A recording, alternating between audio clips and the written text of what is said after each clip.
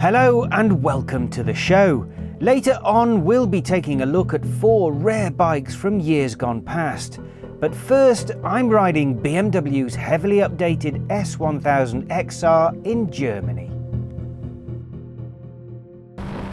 Which is, of course, the last country in the world to have some of its highways without speed limits. So, it would be rude not to drop a couple of gears and accelerate from the South African speed limit up to the maximum of the S1000 XR, with the screen in its highest position and the panniers hanging in the breeze.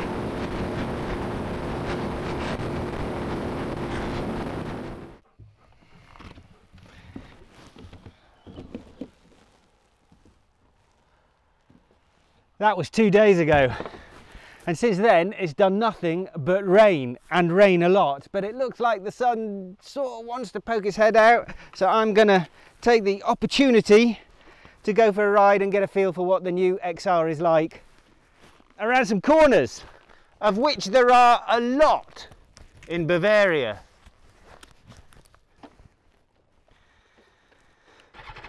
Please don't rain, please don't rain again. Although it's quite a tall bike, measures have been taken to combat that with a narrower seat across the frame directly behind the tank. And of course there's plenty of adjustment available, but no matter how much I fiddle, I can't seem to get on or off the XR without kicking the panniers. Maybe I'm an old fart who needs new hips, but even so, it's still a tall bike.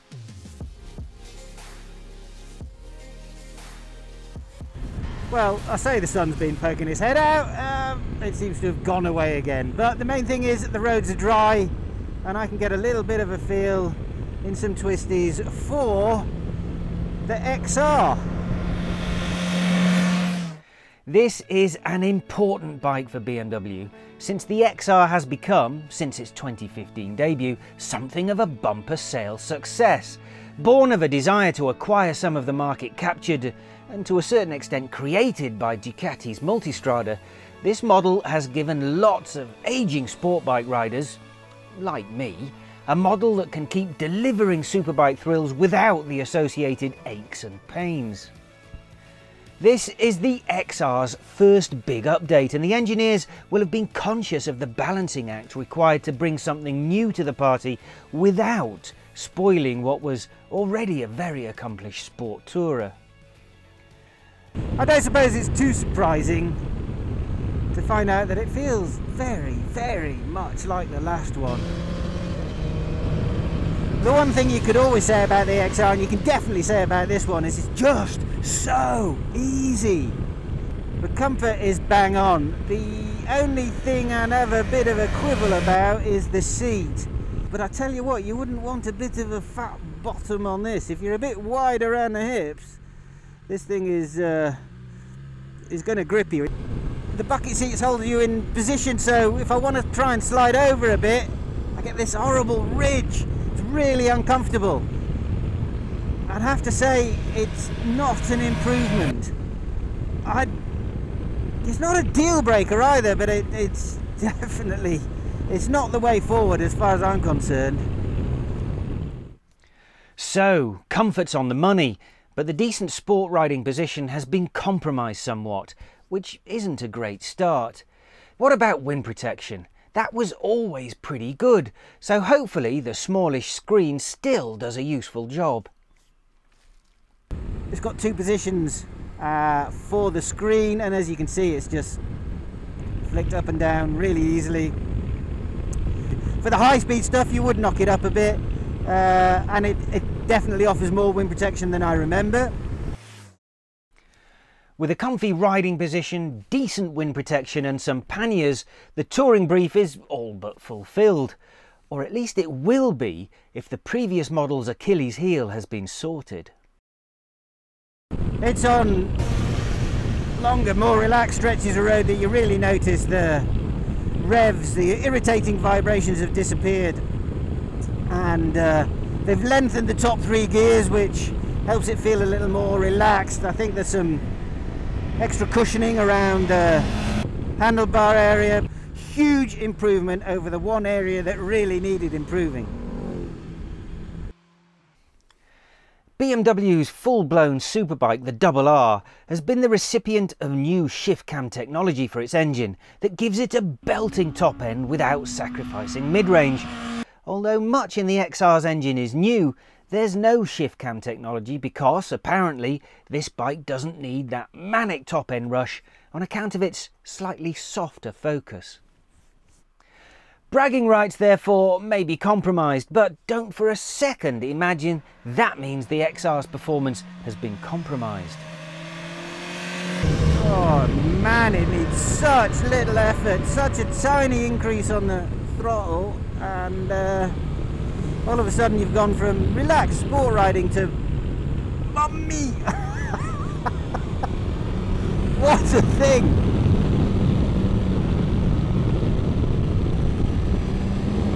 you know, it's just, oh dear. Yeah, that'll get you in. That'll get you in a Bavarian jail, I think, quite quickly. The headline numbers of 165 horsepower and 114 newton meters of torque remain the same, but plenty of twiddling and changes have happened inside the engine, so it's the same but different. If those sorts of details interest you, then check out the specs on BMW's website. Otherwise, the only really noticeable external change, and it's a good one, has been to the exhaust. There's now a significantly smaller, better looking exhaust can at the expense of a large collector box, which is hidden away under the bike. So, top result, that one. The XR still feels properly fast at the top end, and just as flexible through the mid-range.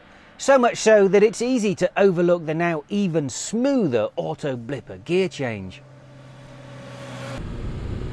I tell you what, that's fifth gear. Loads and loads of lovely torque.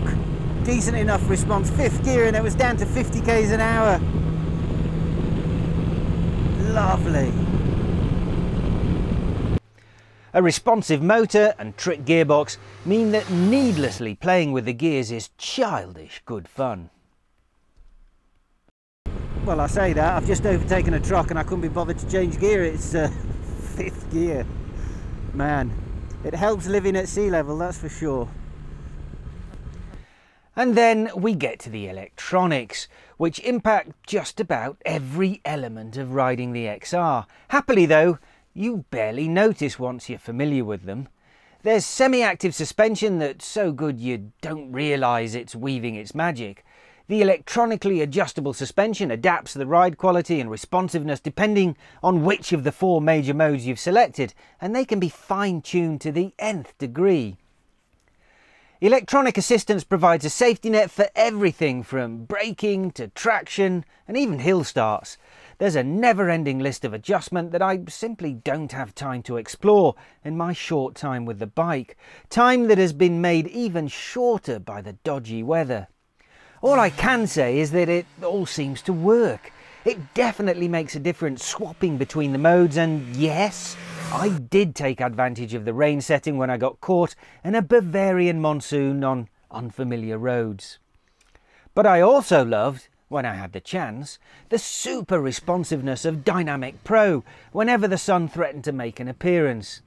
It makes the XR feel like a genuine superbike, and that's remarkable when you consider the touring chops that this bike's also got. This is a serious update then of a bike that sort of feels like it isn't a serious update. It comes across more as a heavy duty polish, if you like. Everything has been improved, whether that's engine or handling, the electronics package, even comfort. It all feels that bit more refined. And that's not a bad thing when you remember exactly how good the previous model was.